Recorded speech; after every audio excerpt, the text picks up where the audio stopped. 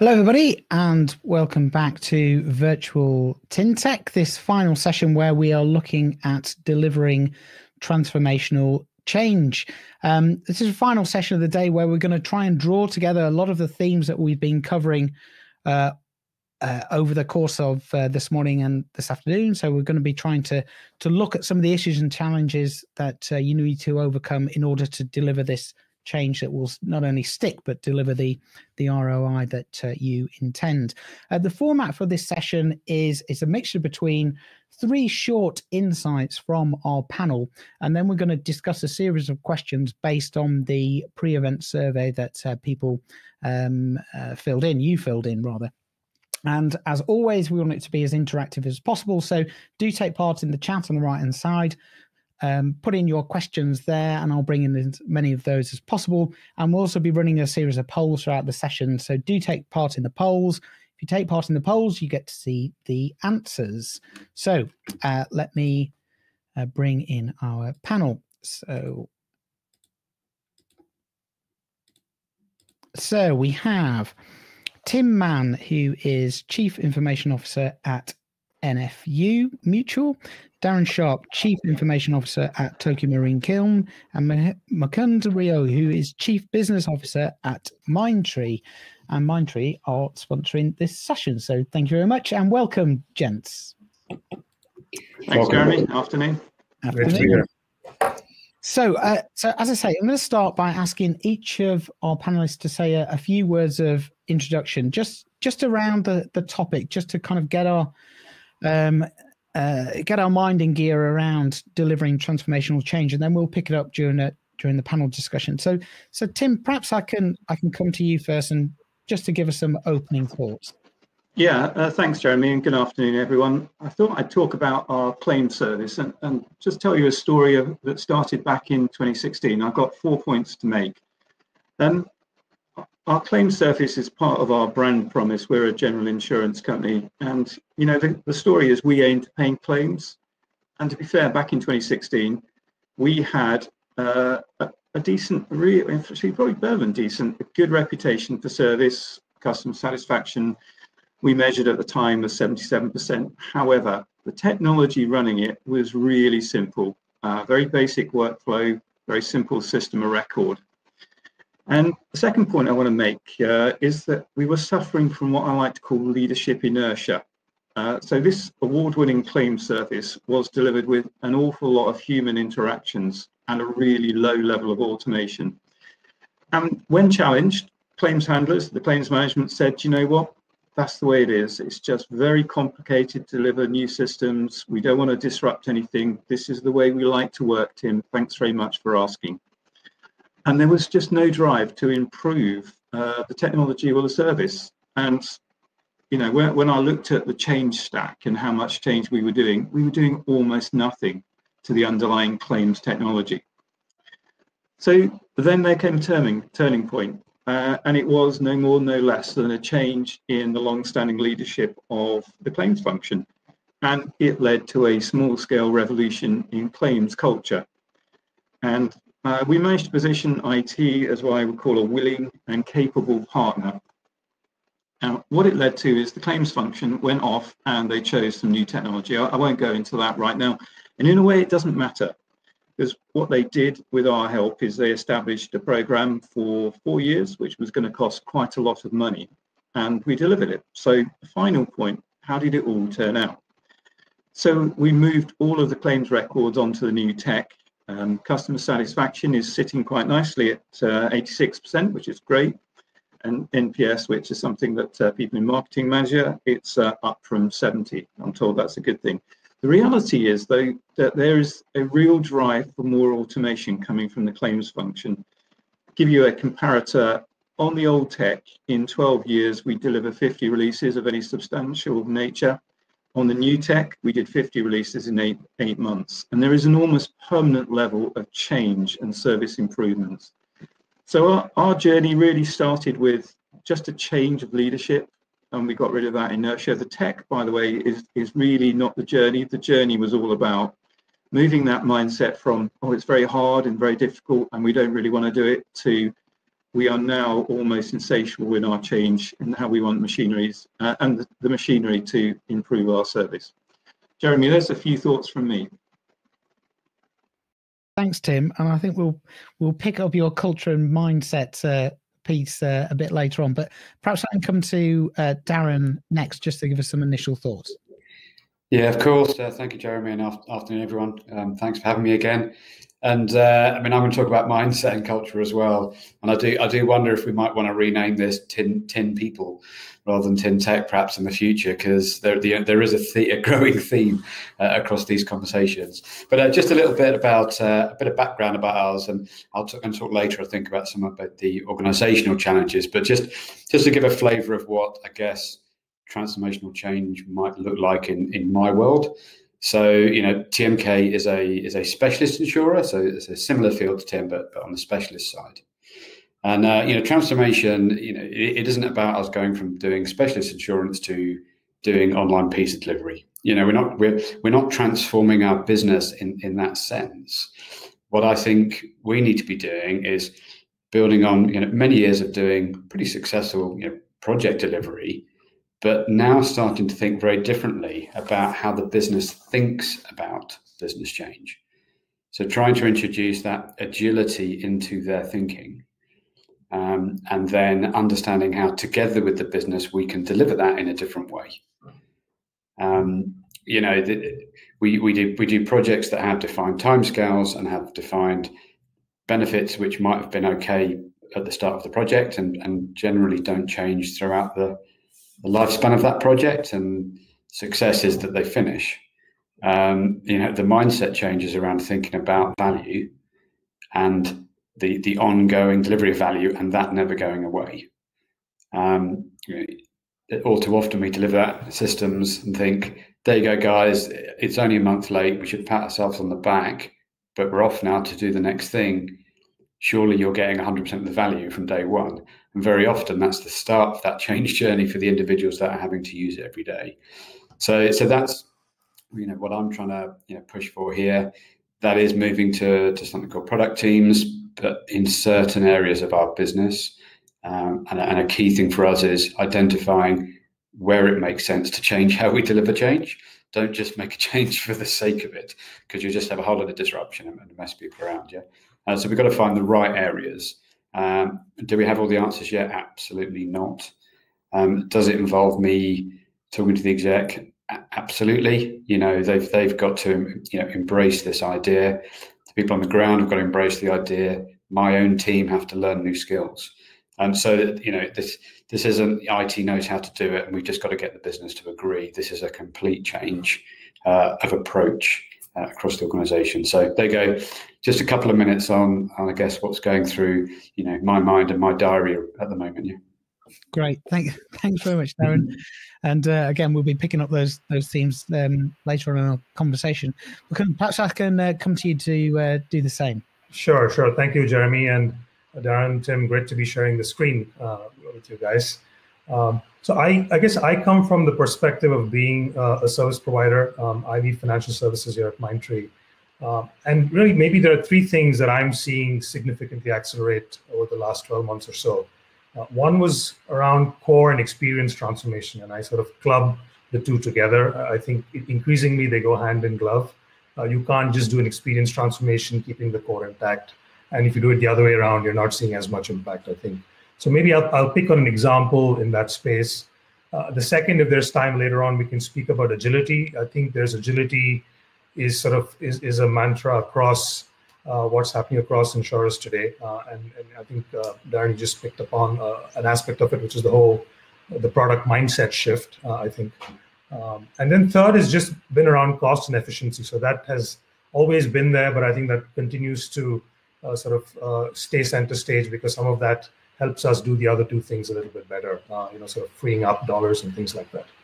Um, so on the the core and experience, I'll just pick one example that uh, we uh, you know we were also lucky enough to play a small part around.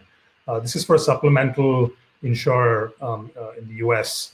Uh, and they went through actually building a complete benefit administration platform greenfield from scratch. So they did this outside of their day to day. So they actually acquired an insurtech. You know, has been the thing to do in the last few years. Uh, so they, they acquired an insurtech. They tasked them to build actually a multi-tenant platform, but that would, you know, at least initially be that they would be a customer of. So it was a greenfield build uh, that accelerated, um, you know, through this through the last 12 months. It went live about six months ago. Uh, so you know, uh, around March, April last year, we were all wondering about productivity. How are we going to measure it? Uh, would teams be able to still deliver to everything that we'd committed to? Uh, given there were you know brokers and agents that were waiting for some of this to show up. Um, so we actually delivered that platform, Greenfield. It went live in September, uh, and we had about 80,000 agents on board within the first month. So tremendous success. And it allowed for a, a broader set of products to be offered, as well as through additional channels, which is sort of critical in terms of what they were trying to achieve.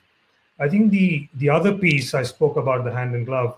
Uh, at the same time, we did a whole reimagine, Tim, close to what I guess you did at NFU around the claims process. Um, we actually, it's which culminated in building a mobile app that got launched on the App Store uh, in July of uh, last year. And in one week, we had a million million downloads of that app. Uh, the score on that app was something like 2. Point, uh, you know, two uh, prior to us rebuilding all of that, and we brought it up to north of 4.5. I think more importantly, from a business and from a customer perspective, uh, they were now able to deliver on the promise of a same day claim. So you could make a claim and actually get paid for it the same day. Um, so I think so enabled by some of the core transformation manifesting itself in many ways, including experience, uh, which was very much uh, sort of uh, you know I think appreciated. Therefore, addressing the brokers, the agents, and the end customers, so sort of all key stakeholders that this particular insurer had. Um, so, Jeremy, just a little bit of perspective there. I'm going to hand it back to you. No, great. Yeah, that's that's super. Thanks, thanks, guys, for setting up the uh, the conversation. And I, am just going to ask our audience now to to take part in our first poll.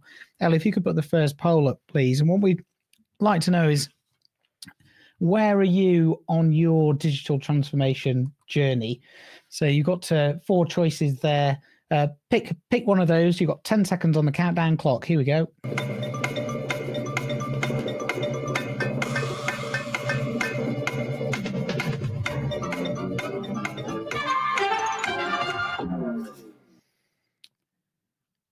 Well, it's really encouraging that uh, most people have have got a strategy, um, and and if they haven't, they're in the process of uh, developing uh, one. And I think we've probably, Tim, I'm going to come to you with the first question for for discussion. You might want to reflect on those uh, poll results as as well, but but perhaps you could give us an insight, kind of building on the on the themes that you covered in your your intro to the key criteria for creating a culture for change and tackling a, a legacy mindset. Have you got some thoughts around that? Yeah, I mean, uh, it's interesting, as you say, very few corporations of any size don't have a digital strategy of some sort. Uh, very unusual to, to find that no, no, I'm not surprised there are no answers for no started. The interesting thing though, and I think um, Darren Mukund mentioned this as well, which is um, it's often the role of IT, which is are, are, you the leader of the change or are you just part of the execution mechanism? One of the things I'd say is nine times out of ten, most most parts of most companies, the leadership, you know, whether it's finance or actuarial, generally they've got a pretty strong view about what they want to do. Uh, very rarely will they take too much um, advice or, if you like, recommendations from the technology function. So, how you one of the key criteria is how are you positioned as a as an IT function? Are you an order taker? Are you a trusted advisor, or are you trying to tell people what to do? I think if, it's the the order taker, generally it's not a great outcome. If you're a trusted advisor, yes, it will be. If you're actually telling people what to do, again, you're probably likely to fail. So for me, one of the key criteria is do you have the, the right brand, the right reputation inside your business to be successful? And can you form a partnership with the, the other divisions within the company? Uh, so that, that's really interesting and, and picks up a, a, lot of the points that were made earlier today around you know having a strong culture around the purpose of the organization and what you're actually trying to do. And Darren, I don't know if you want to pick up on those those themes as well. Uh, yeah, we about them in the past. Yeah, I can agree more. I mean, Tim and I didn't share notes, right? But um, you know, there are these common themes again, and I think, um, you know, I, have I've got a strategy, you know, which my exec has agreed. Um, it doesn't talk about technology at all, though. It talks about how we're going to work together, and it talks about how we're going to deliver together. And I think that the key thing in all of this, certainly, certainly in, in this organisation, and what I'm seeing and hearing elsewhere, is is breaking down that barrier between the two and, and trying to get rid of that whole concept of, of an IT department and so, and some business people giving you orders. Um, I've just called it technology. You know, how do we how do we embrace technology here? Um, which seems to go down quite quite well. Um, you know, and then I think in terms of that culture, though, there is a, there, there's, there's there's two things probably. One is fear. Uh, I don't really understand technology, but Darren, can you be an HR and a finance expert, please? Um, so you know, kind of, you've got you've got to help people can overcome that fear, uh, and that that's quite difficult because it depends on on you know the, the nature the nature of the individual and how receptive they are, you know, to that. Um, and then there is an education piece as well, like a um, back to the business agility piece, because um, there's there's things that technology leaders do in their day job that the, the, the rest kind of the exec and the senior managers don't have an exposure to. And it's very easy to think, oh God, why don't they understand? And go, well, why, why would they? You know, um, I, I was just talking to our head of tax earlier. Don't really know what he does, right? Why, why would I, really? So, you know, I've got to spend time with them uh, and I'm just setting up some some agility awareness. And I'm like, it's not technical training; it's an hour and a half. Uh, you know, it's but it's all about if you think slightly differently. When I come along with some more ideas, you might go, "Oh, that's similar to that thing," you know, and they'll start to join the dots. So chipping away at it, I guess, is is, is probably some advice I'd give. Am I there yet? Absolutely not. yeah, I couldn't. Come on. If I could just maybe add a dimension to this, um, uh, I think you know, with uh, as with any change, it helps to have some change champions. Um, so I think identifying people in the organization who will champion the change on your behalf, uh, on, on the behalf of the idea, even, uh, I think uh, is, is powerful. So, so, find those right individuals who can then sort of have a cascading effect of the change. Um, I think the other element, and this is a sort of a bit of a self critique here, uh, I think we've been sort of uh, suspect of doing this ourselves we sometimes build really shiny technology, um, and, it, and, it's great. We, we feel as technologists that we've achieved it. I mean, I remember this carrier that we you know that we worked for. We created a data lake. It's on AWS-based solution, but nobody's using it. Uh, and then we spent some time to step back and say, why isn't anybody using it? And you know, we built an API layer on the data lake and provided a simple search facility for um, the contact center representatives. And then suddenly there was pickup. So I think ability for us to humanize some of the technology, put truly the user at the center of it, uh, I think will help our own cause. And then, of course, finding, I think, the right champions uh, to sort of lead the charge. Uh, of course, the last 12 months have been tremendous. I think that that catalyst we couldn't have dreamt of, but now it is it's it's real, uh, and I think there's a lot of that now accelerating more than we could have imagined uh, about a year ago. Can, uh, Tim, Darren, can I can I just kind of check with you. You know, there, there is a theory that over the last year, as we've we've successfully moved our organization to work from home and, and embrace some of the digital tools that are available. So we, we haven't become digital organizations overnight, but what we have been able to do is is leverage the digital tools. Has that impacted this mindset, this legacy mindset? Has it opened the doors to some people that perhaps were naysayers or or whatever the phrase is? beforehand? Certainly for us, yeah. Um, from uh, every level, really. You know, uh, I had an example where for five years, you know, our legal and HR team said that we had to print everything and do a wet signature. Uh, and within a week, we'd rolled out DocuSign. And suddenly it was like, oh, this is great, this tech, isn't it? And then you can start talking about saving paper and electricity and all the other kind of benefits from it, right? So it doesn't make you a digital organization, but you're absolutely right. It it opens that door a little bit wider uh, to people going, oh well, if it could solve this problem, maybe it could solve this problem, and they'd be more forthcoming with their ideas. Um, similarly, you know, for if you're lucky enough to do a good job in the first few weeks of of lockdown with your core IT systems, then the exec were quite happy as well. So that's uh, that certainly gives you another opportunity to say, look, this kind of stuff works. You know, let's have a talk about really what we could do with technology. So so we've personally benefited for sure.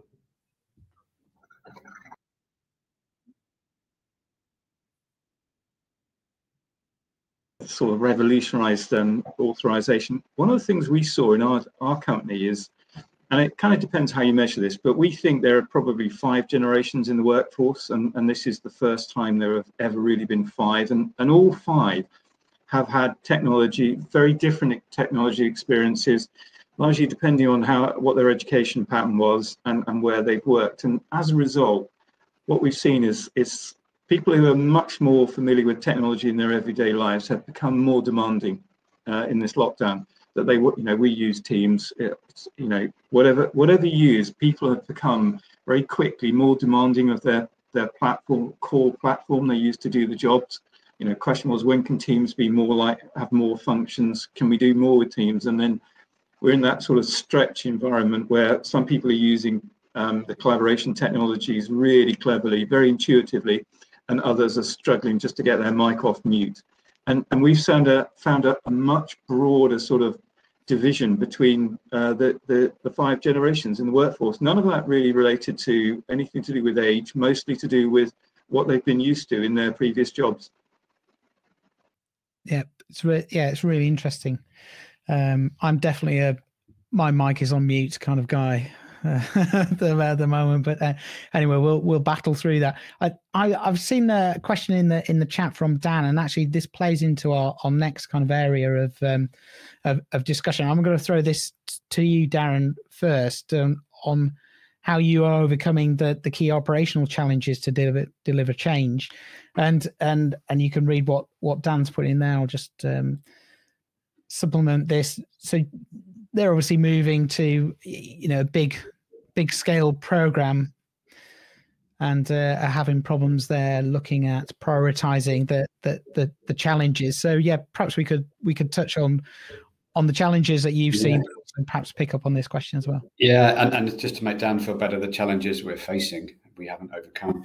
Um, so the issue the issue i've got is moving from a kind of traditional way of delivery to a new way uh, what do you do in that middle period when you're trying to do both, right?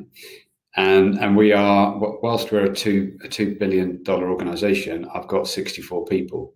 So if I speak to Gartner, they want 30 of those in one product team, right? And it just doesn't work, you know. So the challenge we've got is how do we how do we take the book and and I'm doing I'm doing scaled agile training because I you know I, I want the team to to, to understand that I'm taking this seriously. So I'm going to do the exams as well, and you know, you know, lead this thing. Um, but then, from a practical point of view, there's so many ways of skinning this, uh, and probably in the six months of this year, I've had ten different thoughts about how we do this, and slowly the kind of slightly divergent thinking is starting to come together. The the kind of slightly out focus picture of the future in my mind is starting to come into focus. Um, and I think my advice, Dan, would be um, start small. Uh, we were going to be quite ambitiously setting up several teams this year, and now I'm going to commit to doing one, uh, and I'm going to do that one really well. And it's going to be one where we can very clearly identify value, and we've got we've got those business advocates um, and the change champions already kind of lined up and hungry for doing it. So our chances of success are that much higher. Um, so not, I don't know if that fully answers your question around prioritization. Um, I suppose the, the, the way we've picked ours is we've we've picked a product team that we're going to build on the back of something that we already know the executive have said is a priority. So we haven't tried to bring something new in and try and shoehorn it into the list. Yeah. That's that's been our approach. Yeah. Yeah, Mukund? And sort of pivot off of what Darren just said. I think one of the other things that we're also finding uh, that's that it's important to do is to figure out how you actually increase the throughput itself. So basically, down to your point of 68 member team, why can't that be an 80 member team? Uh, and can we do that by sort of, uh, you know, keeping the equation largely intact, right? So by looking at how we can reduce costs on certain other aspects of what IT is spending time and effort and money on, and then freeing that up to be able to allow for additional throughput. So I think that's the only dimension I'd add because today with uh, you know, with the possibilities of technology and automation and, and things like that, uh, there is a, lot of ability to sort of reduce the run spend. I, will give you an example. We, are working with a retirements uh, company here, uh, and they are largely, mostly all running on the mainframe, significant product estate as well. But we're helping them, you know, sort of move that onto a Micro Focus on Azure, reducing their run costs significantly so that that money is potentially available uh, to reinvest in being able to increase throughput. So hopefully you can do the large project as well as some of the others that the tribes are focused on. And just, just picking up on that and to finish off quickly, that is exactly our resource strategy. So continually reducing the, the BAU workload so that I can free up my hungry and clever people to work on business change. That's that's the way to do it. Yeah, yeah Tim. Yeah, um, a perennial problem, isn't it? what what we've uh, over the years we we've sort of taught ourselves to do the following, which is um, there's often work that is given to you by your regulator or the government, so that's always the start point, and then we try and deliver um, in any portfolio one large program, really important, and then not to overfill the hopper, if you like, because um, what we know is that big program can often expand and consume everything. So at the moment, we've got one big program, a replatform of our GI business system, uh, and we've tried to keep everything else fairly small, so it fits alongside. Um, it's uh, it's an unscientific, but so far an empirically successful approach. Thanks, Tim. Um, I, th- I, think it'd be um, really interesting actually to pick up on the innovation uh, piece that we've been uh, talking about and perhaps come back to to some of these challenges. Ellie, we've got a poll that is where does innovation come from um, within your yeah so within your organization where where does innovation come from this will be interesting just picking up the themes that the, the guys have been talking about um, whether it it is in it end users technology vendors or or fintech uh, tech startups. Here's 10 seconds on the clock. And uh, yeah, answer one of those.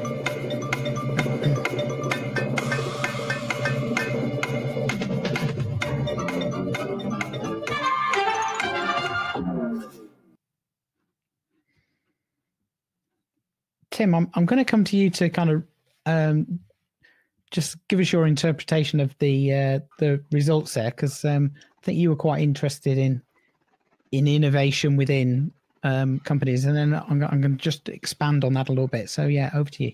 Yeah, I, I, think I'm going to agree with the poll actually that the, the innovation we've seen in our business has been really sort of successful and, and meaningful has all come from what we might call sort of end user divisions, where they, they've got an idea and they, they want a solution. Either they often it's it's at that level, Jeremy, which is we've got a problem, can you help us? rather than we've been to a show and we've seen the following tech, can you just go and buy it, please? Um, where IT's done well, I think, and, and it's to my other colleagues on the panel, it's generally in the area of workplace, i.e. shared tooling, but also uh, I would also talk about agile and development, just how do we get change delivered? So when we've done things around the change agenda or you know improving the way that ch change arrives or release strategies, generally we've we've seen innovation in that regard. And I, and I think it's it's really interesting the, the way that um, true innovation, true R and D um, investment, I think needs to change in our industry generally because I still feel it's considered to be an IT project. So I think to your point, Darren, that you made earlier, whereas if you take pure R and D, you go, okay, we're going to do these ten products. Eight of them are definitely going to fail. We don't know which eight they are, and two of them are going to going to work and we don't mind about that because that's r&d it's investment that's that's innovation and i think sometimes that especially in digital transformation, not not we're obviously talking wider than digital transformation here, but the, it's seen as an IT project with a start in, in a middle end. This is what we want to see in, in six months' time, and if it hasn't delivered that, it's a failure, and and that you're starting on the wrong mindset straight away. It's that's exactly where we were a while ago, Jeremy. I asked several years ago, could we set aside an amount of money in our annual plan for R&D, innovation, whatever comes along, experimentation. And basically it was, yes, but only if you tell me exactly what you're going to spend it on. You know, and you have to do that a year in advance, right? And I just thought you're completely missing the point. So I, I did give up at that point, but uh, I, I think now there's another opportunity with this concept of product teams because what you can start doing then is saying, how much do you want to invest in claims? how much do you want to invest in data on an ongoing basis? How much do you want to invest in underwriting? Does that feel right? And have that conversation, you know, with the CFO and others. And they go, I think we should probably throw, throw a few more quid at claims because that doesn't look quite right. And that will give, you know, hopefully give you some of that capacity and, and, and opportunity. And if, if people are coming forward with ideas and you're able to do something with them rather than just, that sounds like a great idea, but we're really busy. You know, if you can if you can do something with it, even if it's to prove it's not a good idea, they they'll they're more likely to come back again, aren't they? With an, with something else, yeah. You know, Darren and his team were very responsive last time, and you remember that that fun we had trying to get that thing to work. Let's have another go. So again, all back to to, to working on it together, I guess. Yeah, and, and yeah, go on, Tim. Um, I don't know if it's just us, but um, certainly our business is, is much more deterministic around its investment and, and wants to know, a bit like Darren said, what are we going to do? What sort of results are we going to get? Um, what are the benefits? The, the idea of fail fast um, is not well received in our business at all, which uh, I, I, don't know. I don't know how I feel about it. Actually, fail fast never never feels great to me, but um, there is definitely a desire to know what are the outcomes before we make this investment, please. We, we've rebranded it Learn Fast. Seems to go down slightly better. yeah, that's uh, that's it. Right, let's let's uh, move things on. Um, Kunda, I want to fire this one at, at you because um, you know we, have talked a lot about the the customer during the course of of of the day, and uh, sometimes when we have talks about technology, the the customer gets lost in this. So I, I want to pose this one: How do you ensure technology uh, enables change that delivers customer outcomes? What's your what's your thoughts on that?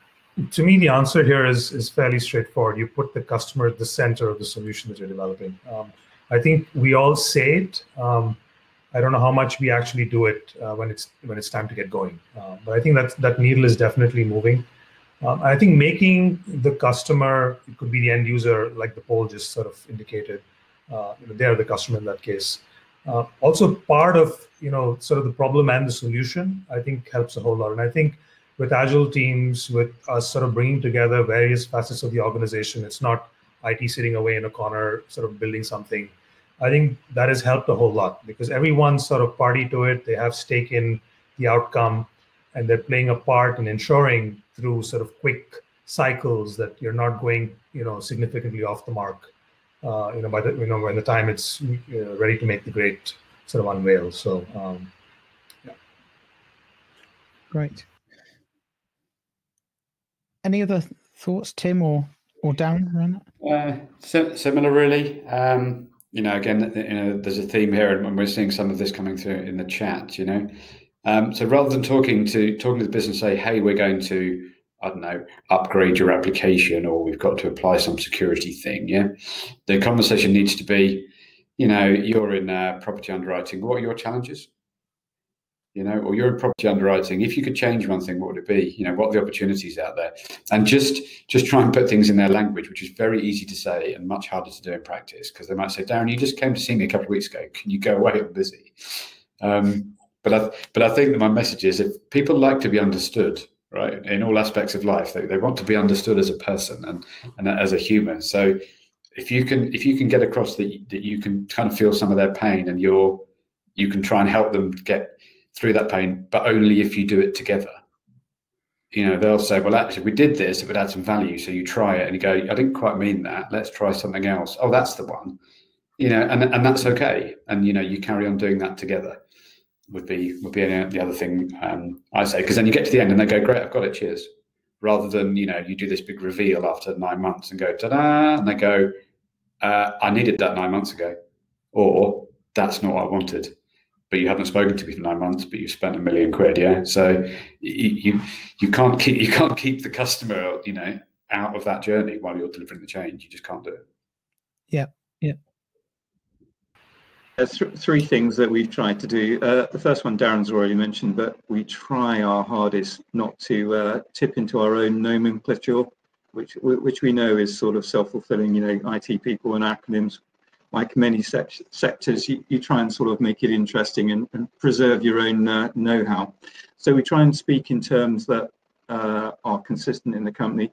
The other two things we do is we I've got two teams, the business analysts and the business relationship managers uh, they're my sales teams, and I always sort of remind them that they're out selling our work and our services, and um, to make sure that if I've got two sets of teams that are probably some of the best people I've got in the division, uh, and I hope no one's going to be offended by this, that they have two of the most important jobs, which is translate work uh, and form um, strong relationships by knowing what other divisions want. And if I'm honest, those two two sets of people are really important to make sure that uh, we get good outcomes, even if it's small scale work or project change. No, that's no, it's really interesting and uh, yeah, good tips there. Welcome. Do you want to come in? Yeah, I just have one more comment if I can add. Um, yeah. I think also sort of showcasing very tangible outcomes of you know, of the effort, uh, I think pays off. Um, maybe I'll cite two examples here. Uh, for uh, you know, for one of the carriers, uh, we we sort of piloted the use of the whole GitLab suite, you know, of products for CI/CD, pipeline integration, code checks, security scans, test suites, packaging, all of that. Uh, and we were able to demonstrate a significant improvement in velocity, I think to the tune of about 25%. So that sent a strong signal that, hey, there is tangible benefit, in this case, improved velocity uh, that we were able to deliver. Uh, I think the other one, I, I, think Darren, you mentioned this. You talked about uh, the e-signature, right? That was suddenly in two weeks in place. Um, and for another carrier, we you know we did e-payments. You, you couldn't go on a website and make a payment, your monthly payment. You had to call in to make the payment, or you had to send a check in. Uh, and in the last, you know, around this time last year, we quickly got e-payments in. We now enable them with e-interviews. You don't have to go into somebody's house uh, for them to get, you know, uh, the, the, life insurance policy. You could do a lot of it just online. So, you know, we did e-policy, e-interview, e-payment, e-signature. You know, put the e next to many of these sort of uh, key uh, processes, and immediately there's there's uptick in business in terms of the number of policies you're able to sort of uh, sell in a in a given month, and there is client satisfaction, which you're able to see tangibly through an improved score. Um, so I think that at the end of the day, that also reinforces uh, that it's not tech for tech's sake. Very good. Right, we've we've only got a, a few minutes uh, left, and I just wanted to uh, pose this question. It's from the from the survey. How do you measure successful transformations? And I, I, there's two things in this question. Firstly, it, it almost feels like there's an endpoint and you go, ah, tick, it's successful. Um, whereas, and we we've already touched on that in terms of the the mindset, and you know, especially with um, digital transformation or transformation of organizations, that you know, it's a it's a continual change um, agenda that we've we've got to deal with. Uh, so I just really wanted to, how do you measure those small successes that allow you to then build and continue to to change and, and, and improve. Have you got got any? Got, if we can give a little bit of time, I've seen some questions coming up, so I don't know if we get a chance yeah. to go back to people putting up the chat from earlier. But um, I suppose for me, there's two things. When I went into my exec, I said I'd come back later in the year and tell them how well we've done. And I said uh, it will be successful if I don't turn up, but I just send some people from the business and they tell them. Um, so I thought that seemed to go down quite well. And then I left the room and thought I need to work out a way of, actually objectively measuring that, which I'm still working on. Um, and, I, and I suppose the other part is the kind of the, you know, the, the, the NASA analogy of asking the guy, you know, with the broom what he's doing. And he said, I'm sending a man to the moon. Uh, and certainly one of the things that you know, is, is, is on my list for this year for my team, even though it's only a small team, I can't just stand up and talk to them, right? Because whilst I'm in the office, and a few of them are, most of them are not, and it, it's a bit of a challenge at the moment. But I want each of them to be able to articulate why we're doing what we're doing and what we're trying to achieve in business terms and in like two sentences. Um, you know, because you need to get that consistent message. You need to get, you know, the business confident that this isn't just Darren's idea or a pie in the sky idea or the 2021 idea that's going to change, you know, next year. You, you, it, it's all about trust, all about confidence, yeah. And then finding some measures. And, and back to my advice about the product teams, don't just put one in place and say, "Hey, here's a product team now. It's better, isn't it?" And it's just different. You've got to be able to say this will deliver some value, and the value definition is going to come from the business and IT together, defining it and then measuring it on an ongoing basis. Great. Yeah, Tim. Yeah, I've got one um, to add to Darren's, which is the technology never gets mentioned. So if the claims people say, "Do you remember when when we did that thing and, and our NPS went up and life got a lot easier?" And you think, "Yeah, I remember what that thing was." So as long if the tech never gets mentioned, it is a successful transformation in my book. Yeah, and this uh, comes into this this question as well, I suppose, from uh, Donna, where yes, we have been talking about mindset and culture. Um, but for large established uh, companies, how do you get the message into execs? Is that, uh, and I suppose what I'm hearing from from everyone is these small incremental conversations and phrases and way of ways of of of starting conversations and having conversations internally that that doesn't just go, oh, we want to, as you said, Darren, upgrade your whatever it is. You know, we want to be able to help you do your job better or what are your problems that we might be able to help? I suppose that's probably the yeah. Be um, you know if, there's a town hall or a blog or anything from senior exec, just note down the language they use. You'll realise what's in their head. So you can talk about portfolio optimization and and all sorts of other things that mean something to them or responding to changing market conditions or regulatory but whatever it might be yeah. Um, i would say have a very very short number of slides and most of them pictures. Uh, and and that's not because they're not clever enough to understand it. It's because um, if it's anything like our exec you know they get hundreds and hundreds of pages of really quite boring stuff that they have to do as you know board members and everything. And if you turn up with a similar dry deck, that then you're not going to get any airtime. So small, don't overpromise. Talk about talk about business value. Don't mention any technology, um, and then you'll probably stand a better chance. But you've got to get in the door as well. So I, I guess some of it depends on your situation. And COVID got me in the door. Hadn't been in the door for five years. So you know, every cloud. Yeah. Maybe well, I'll just if I I'll just throw in my maybe slightly controversial uh, suggestion here, and this is from my vantage point outside in. Uh, I think sometimes change affects this sort of change in mindset. Um, uh, you know, if there is change in leadership, if there is change in you know somebody brings in a fresh perspective from another industry, uh, I think something like that uh, helps to sort of uh, inject some urgency for that change to happen. And, and I think, like Darren said, maybe COVID uh, has done it for, for a lot of us. But uh, I think that to me uh, is, is a big one. Uh, I think many times insurers and carriers tend to be pretty insular in, you know, in their entire you know, leadership structure. I think when some of those changes happen, people move around a little bit, uh, then there's urgency. Right. It's hard for any one of us to control that, but yeah. yeah. And then if you can't get in front of the whole group, then you know, find find a friendly uh, who, who's who's a bit more, you know, ready to be approached, interested in doing things differently, find a clear business problem that, that resonates with them, and let, let them do the lobbying for you. Right. Great. Right, I'm going to have to stop the conversation there because we have uh, rapidly gone through the 45 minutes. Um, in a, in a blink of an eye, as, it, as always happens. So I, I just want to thank um, uh, Tim, Darren, and Mukund for their contributions and insights. So thank you very much, guys, for taking part. Thank you.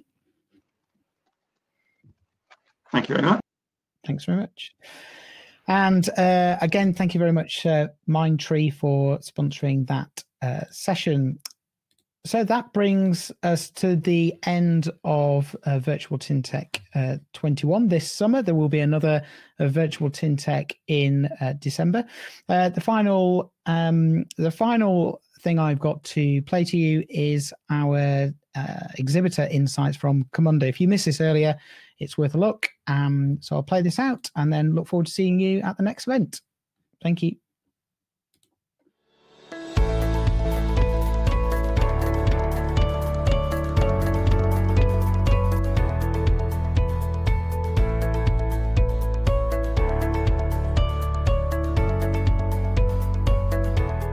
So Camunda is a process automation software vendor, which means that insurance companies apply Camunda to design, automate, and continuously improve their business processes end to end.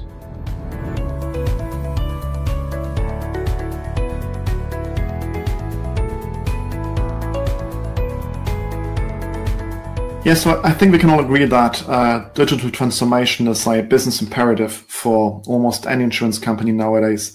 And it's important to understand that process automation is a key enabler for that transformation, which is a fact that was also recently confirmed in a study that we commissioned that um, interviewed more than 400 executives at insurance companies. So process automation is the key enabler for transformation in order to allow insurance companies to meet customers' expectations, at the same time operate efficiently also at scale. And when we now translate that into actual technical implications from where Camunda comes into play, we need to be aware that process automation spans over all the different systems and people and actually physical devices nowadays um, that play a role in executing those processes, which means that we need a technology that is able to orchestrate all those diverse endpoints from one end of the process to the other hence end-to-end process automation. So Camunda is focused on end-to-end orchestration, and it does that in a way that brings business stakeholders and IT specialists like developers truly together based on a common language called BPMN, Business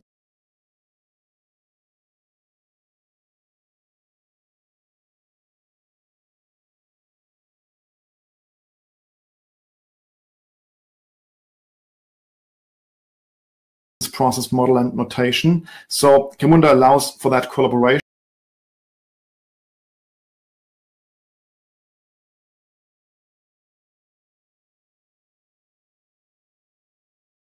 It does that in a way that is very software developer friendly and oriented and also comes with a very open architecture so that insurers are better able to integrate this technology into their own existing stack.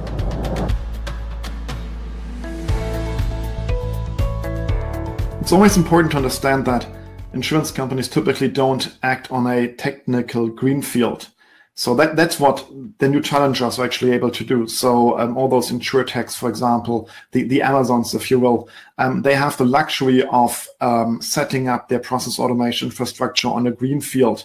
Uh, with insurers, it's often different. So they are often decades or even hundreds of years old, and they have a lot of legacy in place, legacy applications, legacy infrastructure, and even a legacy organization to some degree. So if an insurance company wants to actually um, get on par with, with the Amazons of this world, they need to transform gradually. It's not it's not a big bang transformation. They couldn't afford that. You can't just rip out your your technical uh, legacy and replace it with something shiny and, and fancy and new. So you need to transform gradually, going from um, old school ERP systems, existing COBOL based mainframe um, backend systems, all the way to top notch modern microservices based architecture. So, how can you really make that happen?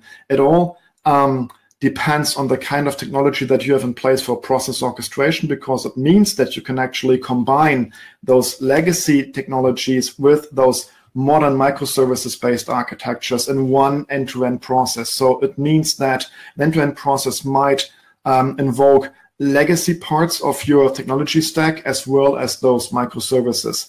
And this then allows for a gradual transformation. So that's typically happening with Camunda. Once you embark on that journey, you have some some lighthouse project in the beginning, um, and then then you you gradually expand horizontally in your in your architecture and modernize the entire insurance company um, eventually. So we're doing that with lots of different companies from different countries. So, for example, Allianz in Germany, AXA Generali in other parts of Europe, and all the way to the US. So, it's really the common theme that we're seeing here this gradual transformation from, from the old world of legacy applications to the new world of microservices based applications.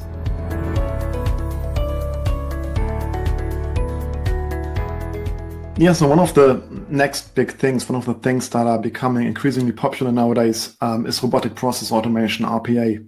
So that's also being embraced by insurance companies. And RPA is really great if you um, want to automate granular tasks that are typically conducted by people in front of a computer using a legacy applications user interface. So that's where RPA is good. Um, there's an issue, a problem, however, that comes about as soon as you scale your RPA deployment beyond a certain amount of bots.